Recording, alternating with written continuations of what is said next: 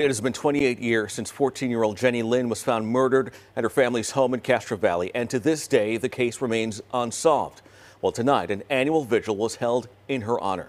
New at 10 KTVU Zach Sos was there and joins us live with a message from Jenny's parents. Zach. Well, the message is that after 28 years of holding vigils like today's, they say it still hasn't gotten any easier. They say the pain is still very fresh, but they say they have no intention of stopping until Jenny's killer is caught.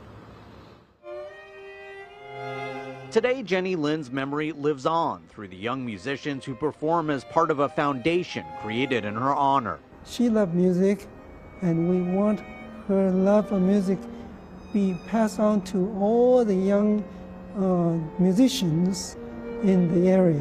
Back in 1994, Jenny, a talented viola player, was found stabbed to death in her Castro Valley home just two days after celebrating her 14th birthday. And every year that her family holds these vigils, the memories flood back in.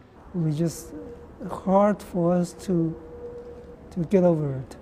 You know, it's very so. It's just so difficult. We like to uh, keep our promise uh, for Jenny that uh, we will find justice for her.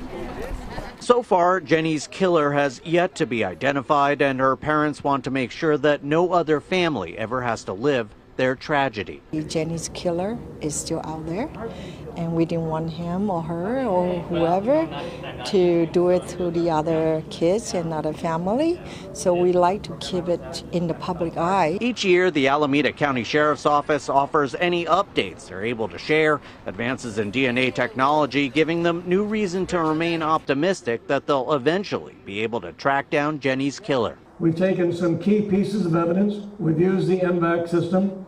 Uh, we believe that we're going to be successful in extracting some type of cells. The Jenny Lin Foundation ensuring that her case never fully fades from the spotlight and teaching a younger generation how to protect themselves. Learning a lot about ways to stay safe when you're like walking by yourself or in your house just locking doors. While also honoring all the good that they want her to be remembered for, spreading Jenny's joy for music the way that it's taking something that was so tragic and turned it into something that was so good um, is you know amazing to me and I think that's the reason that I stay involved and you know pretty much would do anything they ask me to do as long as I can do it.